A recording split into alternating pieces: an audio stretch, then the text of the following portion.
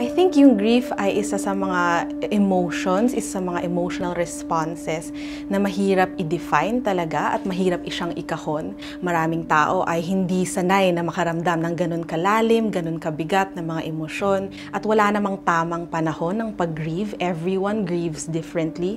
May mga personal na um, journey, path ang bawat tao sa pag-grieve so hindi natin siya pwedeng sabihin na isang strict timeline lang. Another way to look at grief, especially for us that have the Christian faith, is that grief is something that can be temporary. So may mga panahon na malungkot tayo, pero may mga panahon din na pwede tayong magkaroon ng hope. Especially since we believe that maybe this grief is temporary and we have something to look forward to.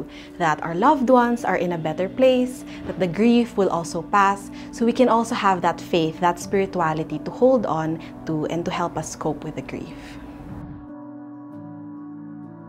So, as cliche as it may sound, the easiest way out of grief is actually through it. Pinoproseso natin yung grief. Kailangan na nararamdaman natin yung grief. Eh, mahalaga na harapin natin yung mga emotions na kasama sa pag-grieve.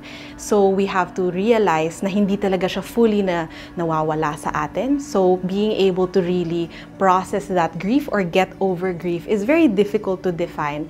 Actually, the more that we run away from it, the more we deny it, mas naproprolong ang grieving process. So, it's really important for us to allow ourselves to just feel those feelings even though it's difficult difficult little by little until we reach a place where we're okay.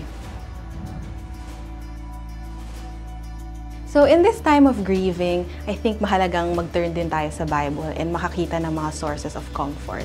I like looking at Ecclesiastes 3 verses 1 and also verse 4.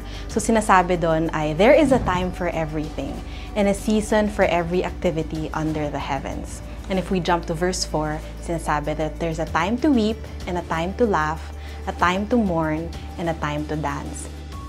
So ina-emphasize niya na hindi mali yung nararamdaman natin, na it's okay to feel sad, it's okay to mourn, it's okay to weep.